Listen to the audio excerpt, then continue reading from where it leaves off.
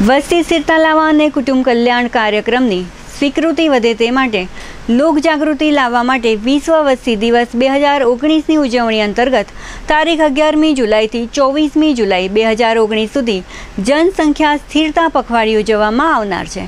તે અન્વયે વિશ્વ વસ્તી પખવાડિયાની ઉજવણી નિમિત્તે કુટુંબ નિયોજનથી નિભાવીએ જવાબદારી, માતા અને બાળકના સ્વાસ્થ્યની પૂરી તૈયારીને સાર્થક કરવા માંડવીમાં રાજપૂત ક્ષત્રિય સમાજવાડી ખાતે તાલુકા કક્ષાનો સેમિનાર યોજાઈ ગયો. જનજાગૃતિ રેલી બાદ યોજાયેલ સેમિનારમાં વસ્તી નિયંત્રણ, બેટી બચાવો, બેટી વધાવો, કુટુંબ કલ્યાણ, કુટુંબ નિયોજનની કાયમી, બિનકાયમી પદ્ધતિઓ અંગે વિસ્તૃત માહિતી નિષ્ણાતો દ્વારા આપવામાં આવી હતી.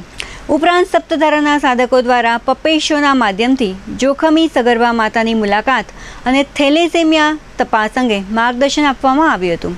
સેમિનારમાં doctor Nidhi Kalavadiya, doctor Amishi Sanghvi, doctor Riddhi Khunt, doctor Hardik Pandya, doctor Namrata Parmar, doctor Dhiraj Dungarkhiya, doctor Sanjay Yogi, doctor Sohana Mistry, doctor Kalpesh Gohil સહિત તાલુકાભરના આરોગ્ય કર્મચારીઓ તથા આશાબહેનો હાજર રહેલ.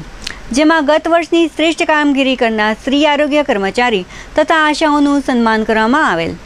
સેમિનારને સફળ બનાવવા તાલુકા હેલ્થ ઓફિસના નીલાક્ષીબેન ધનાણી, ઝેડપી નાથાણી, ગોપાલ ગઢવી, શૈલેન્દ્રસિંહ ચાવડા, સંજય માકાણી તથા અર્જુન પીઠિયાએ જહેમત ઉઠાવી હતી. સમગ્ર કાર્યક્રમનું સંચાલન નિર્મલ આસોડિયા દ્વારા કરવામાં આવેલ.